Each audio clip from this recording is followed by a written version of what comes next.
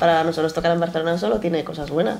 Es eh, tocar delante de todos nuestros amigos y, y no, no, no le veo nada, nada negativo. Y el Apolo, aparte, es una sala que conocemos ya como, tanto como consumidores de conciertos como que es un poco como tocar en casa, de alguna manera. Sí, es una sala, es una sala que suena fantástico. Y ahora acabamos de hacer la prueba, por ejemplo, y es como, jo, qué bien se oye, qué buenos somos. Menos me recuerdes. Componemos básicamente Mark y yo las, las letras y las melodías, el esqueleto, digamos, de la canción, y luego sí que es un trabajo de equipo lo que los cinco trabajamos el sonido final de, de cada una de ellas.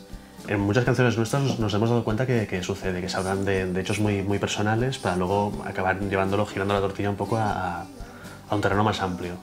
Y sobre todo somos bastante vergonzosos, tanto Laura como yo, así que para cantar una cosa tenemos que estar muy convencidos de que no nos va a saber mal o que nos va a dar luego apuro suplir con una letra que no- con la que no estemos cómodos. Como que es el, el control de calidad máximo que nos podemos Sí. poner.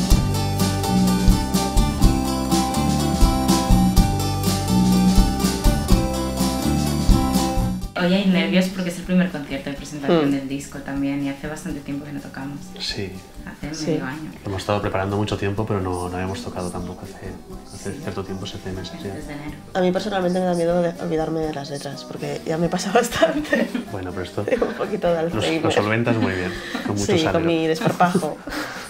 Nos ha costado mucho aprender a disfrutar de tocar en directo y nunca es unánime cuando todos nos pasamos bien o... Bueno, pero esto es normal. Pero bueno, Sí, sí. siempre hay... Para, claro. a veces para unos es como, "Oh, ha salido perfecto y, por ejemplo, llama viene y es un desastre.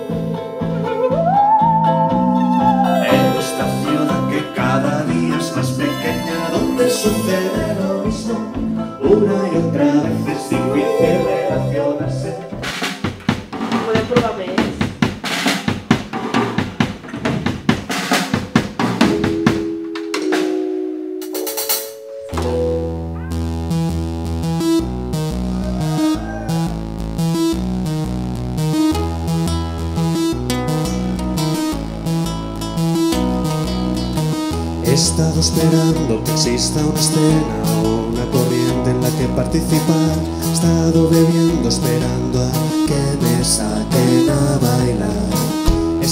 que realmente no creo que, que- que seamos tan pesimistas como a veces se nos, se nos, se nos acusa de ser o, o desencantados tampoco. Realmente hay, yo creo que hay dos lecturas de, de nuestras canciones y, y realmente hay gente que está muy posicionada en unas o en otras. Hay gente que le parece todo que son mm, bastante en tono de broma o al menos un punto bastante, bastante fuerte de ironía y otras- otra gente se lo toma muy en serio y le parece que somos, no sé, prácticamente depresivos. Y no sé, yo prefiero creer, creer o tengo la, la impresión de que hay un punto de broma bastante grande. Que se dicen verdades o se dicen cosas que, no, que pensamos, pero de una forma un poco... Mira, pues se dicen barbaridades, pero para, para superarlas de alguna manera o para tomártelas un poco menos en serio. Tampoco hay nada malo en ser un cortavenas. ¿no? No, de por sí, ¿no? No, pero que va, sí, sí, nos hace todo mucha ilusión.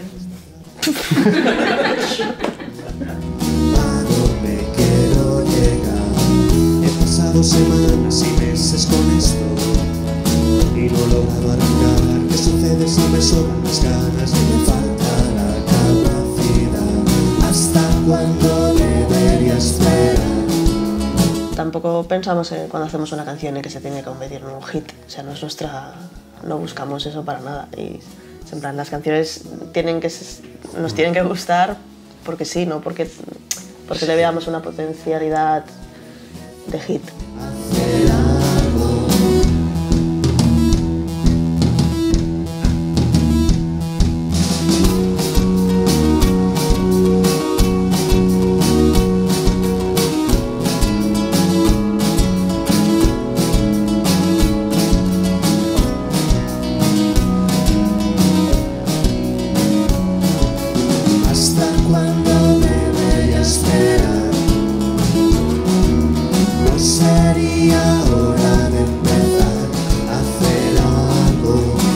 Love, love.